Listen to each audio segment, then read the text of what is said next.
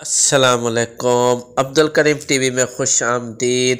Dear viewers आज मैं आप लोगों के पास लेटेस्ट न्यू अपडेट्स लेकर आया हूँ सरकारी मुलाजमीन के हवाले से। सरकारी मुलाजमीन के हवाले से एक लेटेस्ट न्यू अपडेट्स आई है सामने। ख्वा वो वफाकी मुलाजमीन हो या सूबई मुलाजमीन हो, दोनों मुलाजमीन के लिए एक बुरी खबर है। अब ये बैड न्यूज़ कौन सी है जिसकी डिटेल से आप लोगों को आगाह करता चलूँ? बहुत ज़्यादा सरकारी मुलाजमीन कमेंट्स में भी पूछते रहते हैं।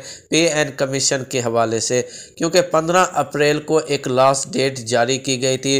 पे एंड पेंशन कमीशन ने 15 अप्रैल को अपनी रिपोर्ट जारी करनी थी और उसके ऊपर अमल दरामद करना था। तो 15 अप्रैल तो गुजर चुकी, वजारत ख़जाना ने दो मरतबा तोसी कराई।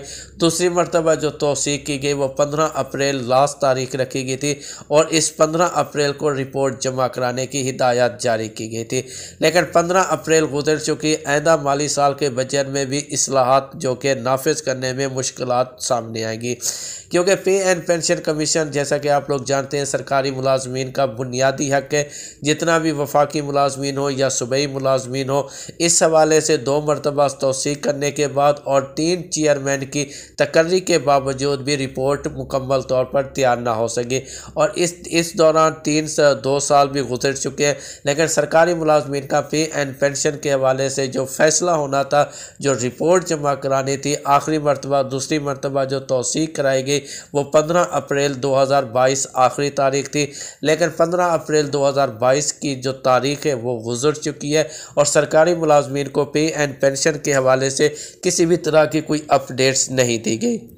दो एक लेटेस्ट अपडेट थी पे एंड पेंशन कमीशन के हवाले से, जिसकी कंप्लीट डिटेल और इन्फॉर्मेशन से मैंने आप लोगों को आगाह कर दिया। अगर वीडियो अच्छी लगी हो तो लाजमी से इसे लाइक कर दें। अगर चैनल पर फ़र्स्ट टाइम है तो चैनल को सब्सक्राइब कर दें। Thanks for watching us. अल्लाह हाफिज़।